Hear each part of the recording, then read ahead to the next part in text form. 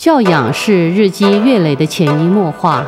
小孩生活在怎么样的家庭，有怎样的身教和言教，对他的人格和教养的养成都有绝对的关系。夫妻不和、打架吵架、恶口相向，或是吸毒、赌博、犯罪等恶习连连，对孩子都是直接的不良影响，实在不可不慎。那我们这个什么家庭的问题啊？家庭的问题，这个小孩子的问题，这些造成这种问题的原因呢，都是冲突。为什么有单亲的家庭？就是夫妻不和嘛。为什么有啊？这个贫穷的家庭？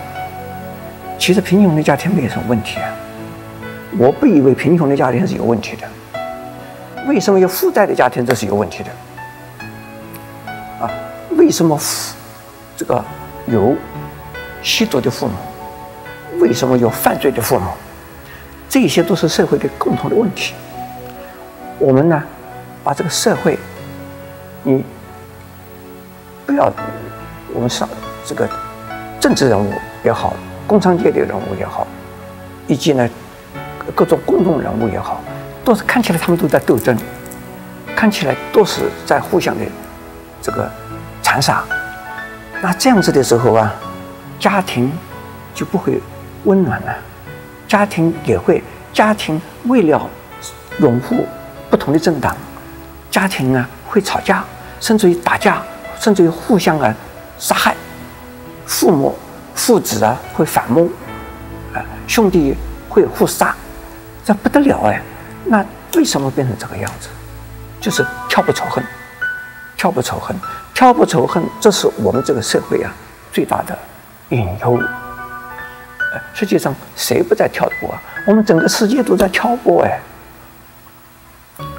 整个世界呢，只是挑拨的漂亮一些，挑拨的不漂亮一些而已。这是呢。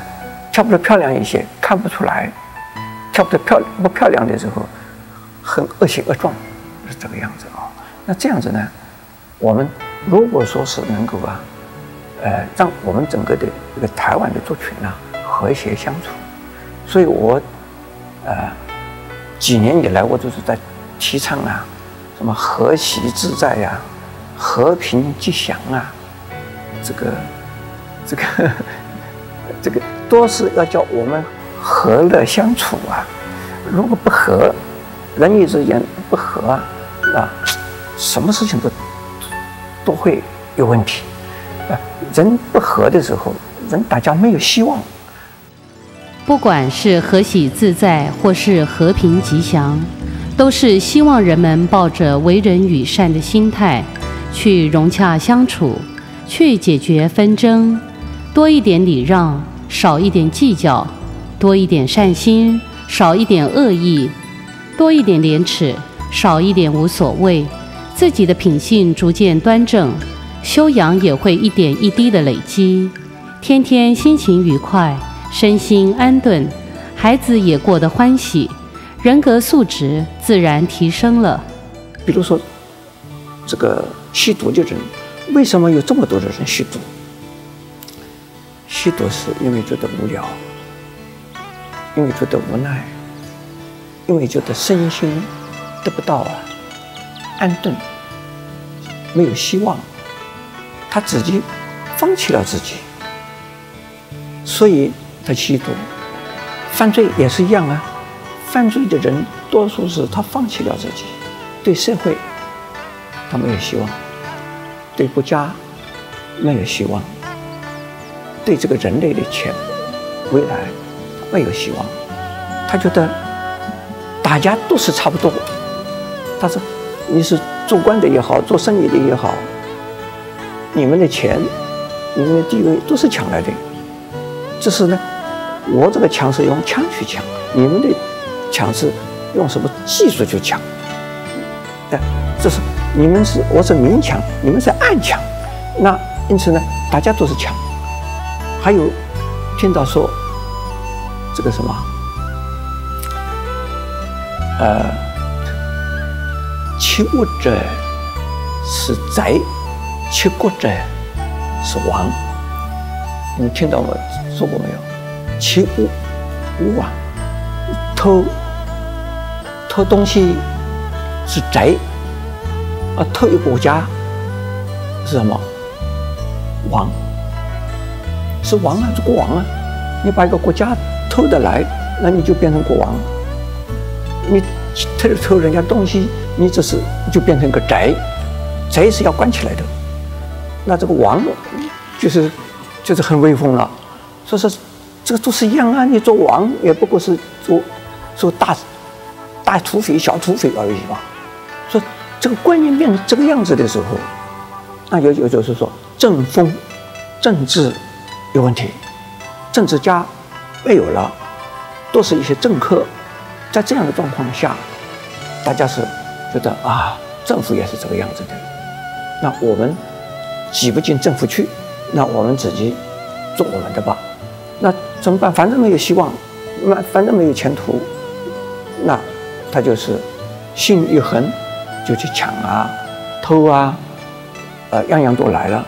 你像现在呀，绑票，绑票是唯一死刑呢，但是呢，处处。时时刻刻都可能有绑票的事情发生，为什么？大家不怕死？为什么？因为他对自己的生命、对自己的未来、对自己的社会没有希望，没有信任感，没有希望，所以他们变这个样。因此，我们现在这个社会变成这个样子，是这个大环境变成这个样子的。当一个国家的人民缺乏廉耻。对未来不抱希望，他怎会对眼前的社会尽义务、负责任呢？小民作奸犯科，明知抢，不觉汗颜，就算落网，也无忏悔颜色，犹能嬉笑怒骂；而大官用权势党争，按着抢，得手之后，大拉拉以歪理强辩自己所作所为，厚颜怒斥别人对自己的指控。不管哪一种，都是社会国家的重大伤害，既动摇国本，也强害未来主人翁的价值观。如果我们台湾的一个社会希望啊，能够就是这些这样子的这些啊孩子们的问题啊，家庭的问题啊，都跟经济的、政治的、法律的都有关系。那教育的、治安的当然有关系。现在我们的教育是啊不不重视教养的。那在古代的教育里边呢，老师是跟父母啊是同一条线上的，要教孩子们教他怎么样做人。现在的老师们不敢教孩子的，不敢教学生的。教学生只能够教他的书，你要教他呢伦理呀、道德啦，呃，要教他们怎么样子做人呢？可能他们的父母站出来就会对付老师，啊，为什么呢？这个我的孩子，我知道我会，我晓得我的孩子没有问题，因为什么要教把我的孩子说成这样子？他一定是维护很多家庭家长是很没有理由。又没有礼貌的，对老师没有礼貌，而对孩子袒护自己的孩子护短了，那孩这个老师们呢就不敢教了。那所以说现在的教育单位啊，教育的这个这个这个教育界的许多的老师都在叹息。我说孩子们把被你们教成这个样，他说我们没有办法，我们。如果要教的话，大概经常会被家这个家长们啊修理。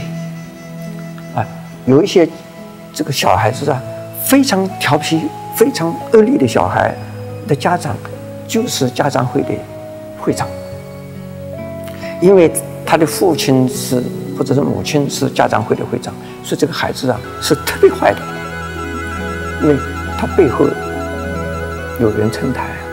所以，像这样子的一个教育的环境，啊，是一个很糟糕的一个环境了。啊，那教育部也是无能为力。冰冻三尺，非一日之寒，让师傅深深感叹的教育环境，政府、学校和家庭都必须负担责任。如果我们继续以私利或是党私为出发点，不辨是非，强词夺理，再多的呼吁都无用。大有为政府，唯有以公益为出发点，缩小个人，放大公益，融入不放在心上，才能维护身口意的清净。做事做人，能做到身口意的清净，离好修养的境界也不远了。但是，教育部的政策是不是可以制定一下？是不是？啊，还有对于我们这个这个教育制度、教育的法规，是不是可以思考一下？能够啊，啊，就是整体做一个检讨，让我们整体的一个社会大家共同来啊重视这些问题的时候，啊，不是说哪一个部分的检讨来重视，而是要整体的。我们的社会，我们的国家政府，政府的各部分，而并不是建设教育部啊，你来做什么嘛？内政部啊，你来做什么嘛？不够的，是要整体的。我是刚才讲的，跟政治的、跟法律的、跟经济的都有关系啊，那跟教育的、文化的都有关系啊。所以说呢，呃，像我们现在大家忧心忡忡，不知道怎么办。实际上，我们应该。这个我们整个团体啊，啊，如果政府他们没有想到，希望我们这这个民间呢，能够这个是大声的呼吁，呼吁我们整个的社会需要这样的东西，因为政府是我们民间选出来的，政府是听人民的意见的，所以说人民的声音大了以后，政府会听我们的讲话的，所以我今天也在这里呼吁。全世界已经是一个地球村。例如，美国社会就因新移民的加入，带动整个美国社会经济与国力的强盛。台湾也历经了四次的大移民。在今日外籍新娘比例越来越高的台湾社会，根据统计，八个台湾小孩就有一个是外籍妈妈所生的小孩。有人称这些孩子为新台湾之子。甚至有立委担忧他们的教养问题会让台湾沉沦，到底我们该如何正确的看待呢？我不相信，我也不认为那样子的看法是正确。呃，那我一向是怎么说啊？呃，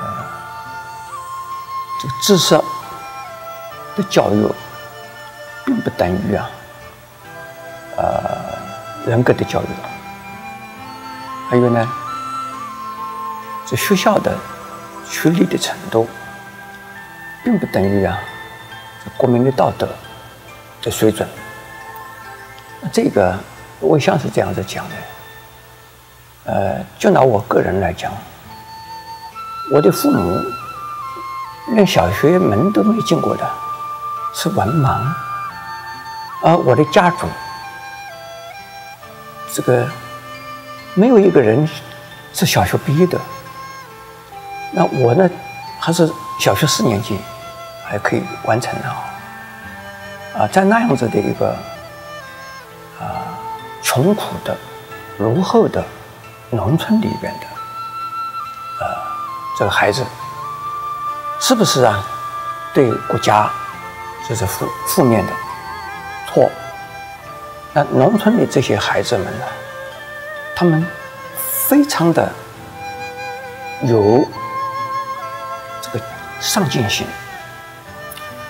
呃，在我们就是中国民族民族里边呢，这个历代的帝王将相，嗯，多是从民间、从下层社会之中出现的。在上层社会，这个政府腐败的时候、堕落的时候，哎，民间的这些优秀的人才取而代之，就这样子啊，都是英雄出于草莽。那这一些呢，都可以是这样子讲啊。现在我们讲新移民，新移民的这些，呃，呃，不是啊，我们这是新台湾人了哈。这是他的一个台新台湾之子，他们的母亲，呃，都是呃越南人、印尼人、菲律宾人，或者是大陆的人。这些人只是他们出生地比较贫穷、比较清寒，而并不等于他们这些他的他们的母亲啊，是等于是无知的，就不是无能的，或者是愚痴的，不是哎，啊，这是语言上、文字上跟我们台湾的风俗习惯啊，呃，跟我们台湾的，就是呃。台语的教育，或者是，呃，国语的教育啊，他们比较差。也许他们在他们自己国内的时候受的教育也不高，但并不等于他们是立等的国民啊，不能这样子讲。如果是这样子讲，是这是非常非常不合现在人的观点的，就把外来的新娘当成是次等国民。把它当成是次等的人类，这个很糟糕啊！这个这个人权的立场来讲，这是说不过去的啊！这是从科学的立场也好，从人权的立场也好，这种讲法都是呃有失公道，需要检讨，需要纠正啊！我我先要指出这一点。的确，没有人能选择自己的出身。但不表示其他人就能否定他们的出身。若以学历和生活水准去判断一个人的教养或是品德，实在有失公允。我们应该以平等的态度接纳每个来自其他国家的人民。当他们也成为我们的邻居或是亲戚时，就已经是我们亲近的人了，不该有次等对待的情况发生。然后他们。在台湾，就是没有受到好好的照顾哎。我们的政府对那些新呃新娘啊，就是外籍的新娘，没有一定的政策来辅导他们，没有真正的好好的怎么样子照照顾他们。这是允许他们结婚，允许他们入籍，允许他们在台湾住下来。但是这些人，我们有没有一定的政策？就是叫做移民的政策嘛，新这移民，或者是呢外籍新娘，既然我们今天有八个小孩子中有一个是外籍新娘生的孩子，那个这是非常可观的，对我们来讲是一份新的一份力量哎，我们如何的能够把这个新的力量变成我们呢新的活力？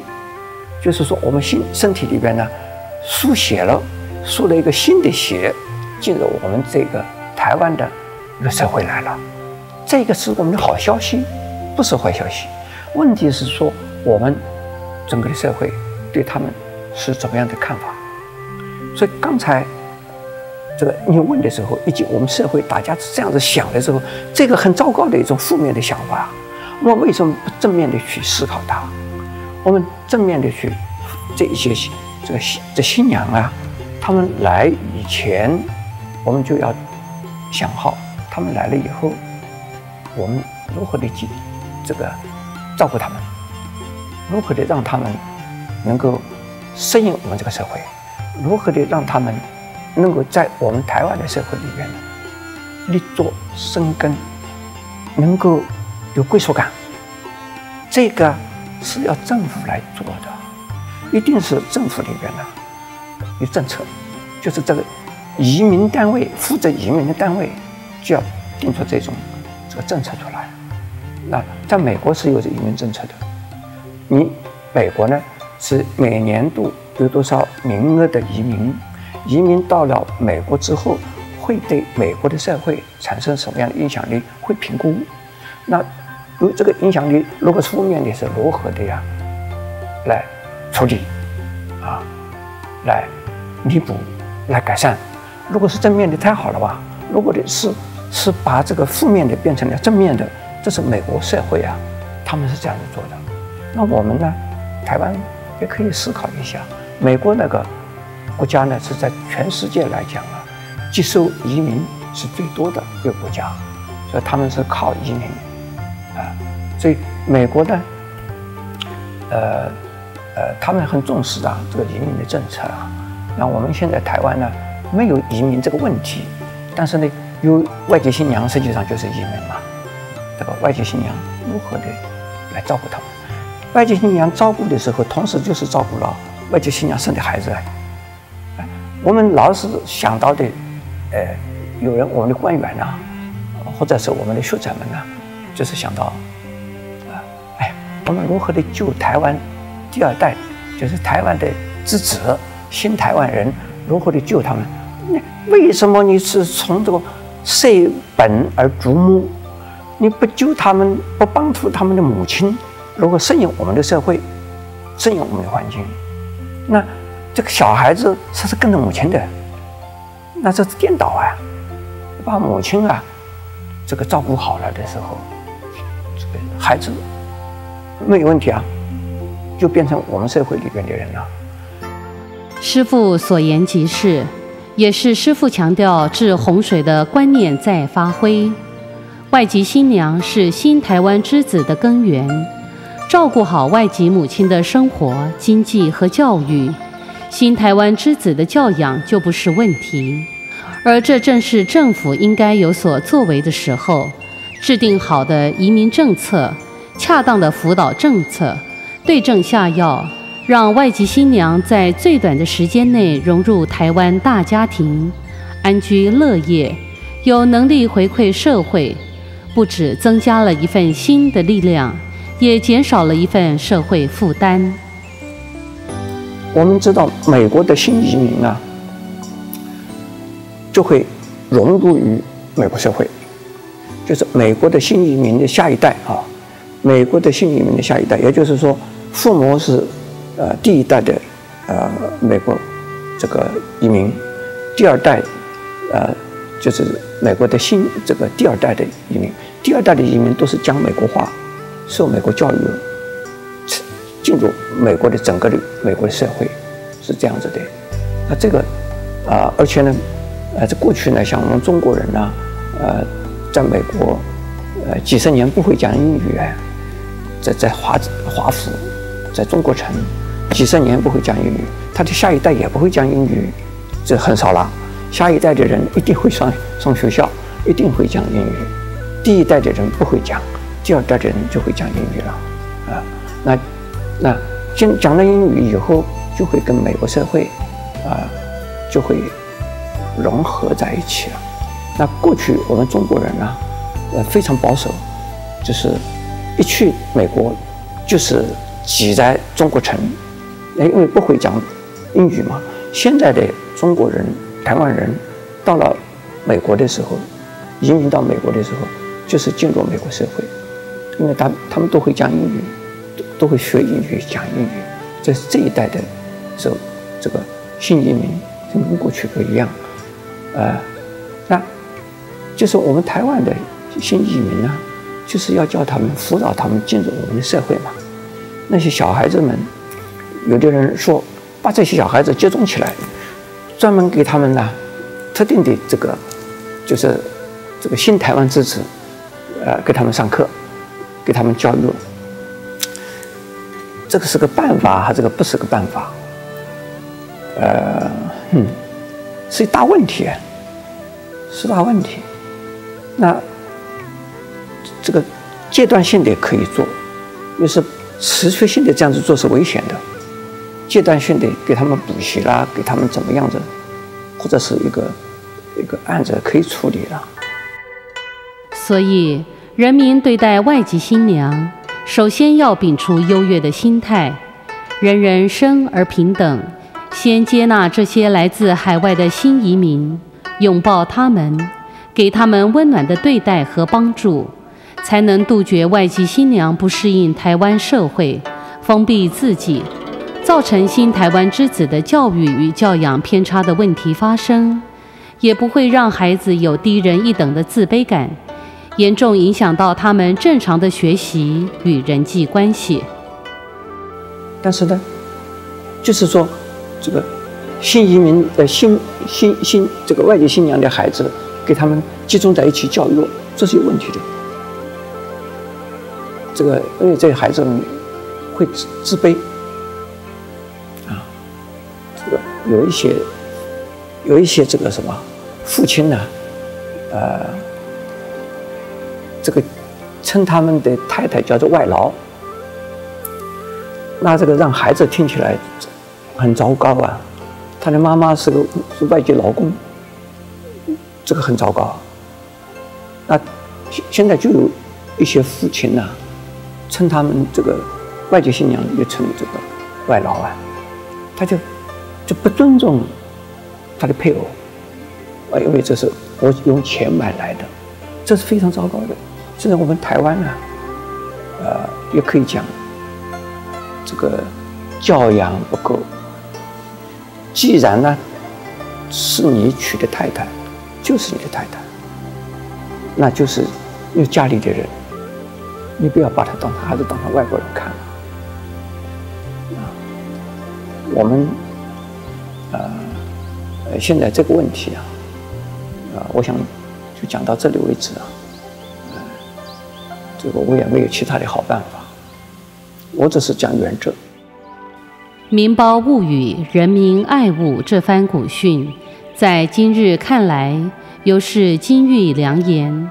端正缺乏教养、日趋沉沦的社会风气，或是辅导新台湾之子的成长与教养，能抱着为公益、为人民的仁慈胸襟去做事、去努力，台湾还是有希望的。